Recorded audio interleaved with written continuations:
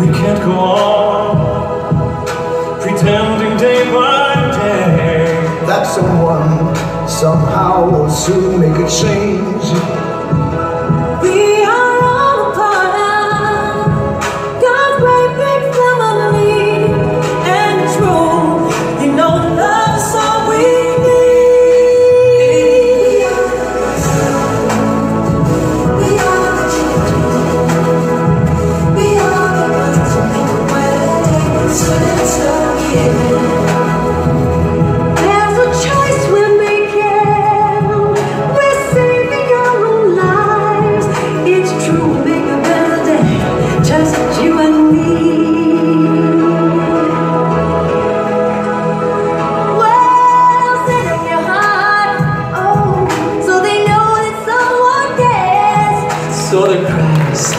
una, una